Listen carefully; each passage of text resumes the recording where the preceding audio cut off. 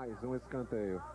Vamos aproveitar para ver a estatística do escanteio. Olha só, já foram cinco para o Corinthians, nenhum para o Biratã. Marcelinho, a bola vem para dentro da área. Gamarra!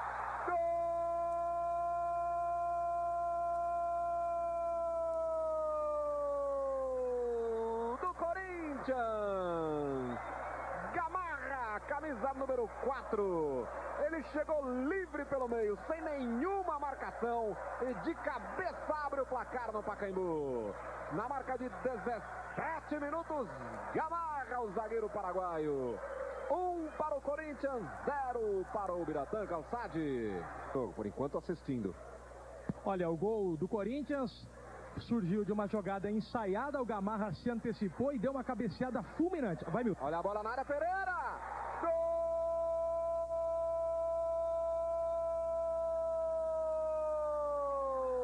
do Biratã! Paulo César, camisa número 9. No do Pereira lá na direita. Paulo César chegou livre pelo meio para dividir com o goleiro do Corinthians. Desviou de cabeça para empatar o jogo aos 18 minutos de partida. Celinho conseguiu evitar a saída da bola. De novo lançamento longo, buscando o Edilson. Ele matou bonito, foi para dentro da área, ganhou. Vem o goleiro, ele bateu! Gol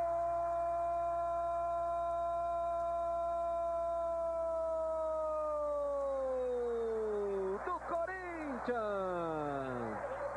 Edilson, camisa número 10. Ele dominou no primeiro lance, foi levando meio aos trancos e barrancos e conseguiu finalizar. Na marca de 32 minutos, Edilson põe de novo o Corinthians na frente. Corinthians 2 a 1, Calçade.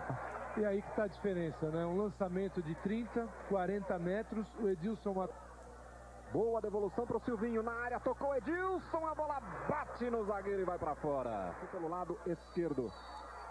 Marcelinho vem para a cobrança, bola fechada para dentro da área.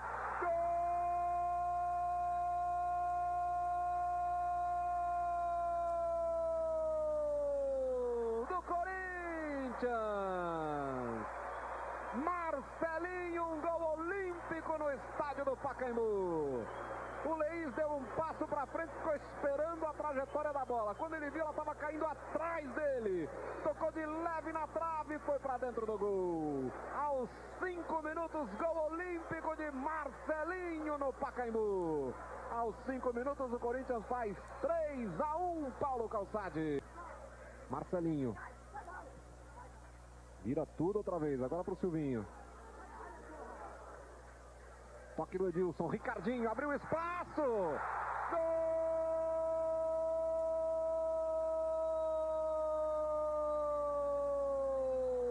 do Corinthians. Ricardinho, camisa número 11. Na bola rolada ali na entrada da o Edilson tocou, o Ricardinho saiu na cara do goleiro. Bateu forte aos 15 minutos para marcar o quarto gol do Corinthians. Vai se desenhando a goleada, Ricardinho. Corinthians 4, Biratão, Calçade. Nesse lance já mostrou que jogando como titular. E é o Fernando que vai para a cobrança. Rincon pegou a bola e deu a bola para o Fernando. Acho que para dar moral até para o garoto que está tentando se firmar no comando do ataque. Normalmente o Marcelinho é o cobrador do Corinthians. Para o Fernando. Marca de 27, pode pintar o quinto. Partiu Fernando. Defendeu Leís! Defende o goleiro, joga para escanteio. Aí é o tal negócio. Se é todo o contrário, né? Detona o Fernando. Bola para o Marcelinho, pela direita. Fez a finta. Rolou curta para Rodrigo. Foi para dentro da área, outra finta, foi para o chão, é pênalti. Outro pênalti em cima do Rodrigo. Ele fez uma bela jogada com o Marcelinho, driblou, foi para dentro da área. O goleiro Leís reclama, vai todo mundo para cima do juiz. Vamos ver de novo o lance, por trás agora. E aí, Paulo Calçade? Foi pênalti, né? Ele, o jogador acaba colocando o corpo à frente, a coxa e o derruba o Rodrigo. É uma falta que seria marcada se fosse fora da área. No interior da área também é pênalti. Agora o Fabiano Gonçalves está até aliviando para o time do Biratã. Ele está evitando dar cartão amarelo, teria que ter dado para o goleiro. pro Leís naquele outro pênalti e agora pro jogador que cometeu esse. Vamos ver, ele tá com a mão no bolso. É, pro goleiro agora ele mostrou. Pro Agora. goleiro ele mostrou por reclamação. por reclamação. E não por ter cometido a penalidade conforme O Marcelinho tinha pedido a bola, o Fernando foi lá, pegou a bola e falou: Essa eu vou bater e vou fazer. Das duas, uma, ou ele limpa a cara, ou ele vai ser duro jogar de novo no time do Corinthians. Viu? Pediu a bola o Fernando, pelo menos mostrou muita personalidade. Tá aí, ó, olha o fixo na, na bola e no goleiro. Tá saindo um cartão amarelo ali, me parece para o Claudinho, né, o zagueiro. Também por reclamação. Partiu Fernando, tá autorizado. Pé direito na bola.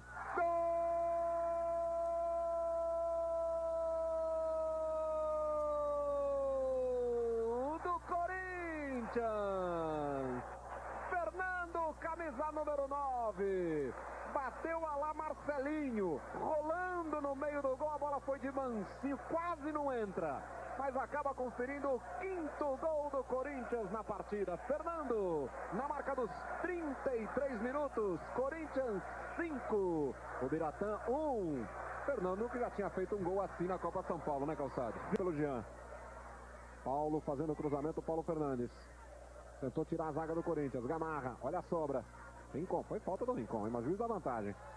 Jean ligou aqui na direita com Pereira. Posição é legal. Mas saiu o cruzamento. Vem a bola para dentro da área. O desvio. Falhou Ney. Gol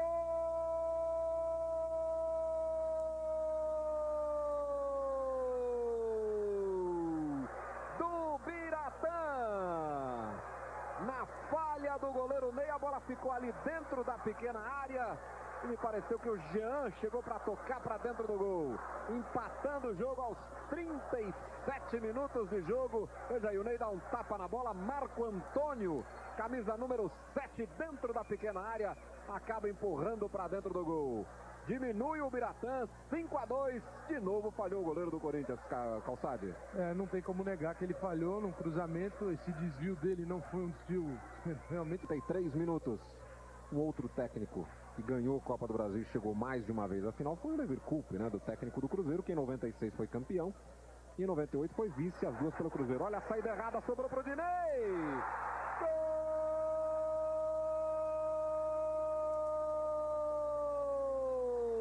Gol do Corinthians!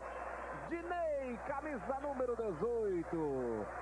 Na saída errada do zagueiro Márcio, ele tocou de presente pro Dinei. O Dinei estava na entrada da área olhando pro goleiro, só teve o trabalho de conferir. Na marca de 43, o Corinthians amplia a goleada com o Dinei. Corinthians 6, o Biratã 2, Paulo Calçade. Bom, tá aí um placar muito diferente do primeiro tempo. No primeiro tempo que a gente reclamava, né, Milton? Um Corinthians.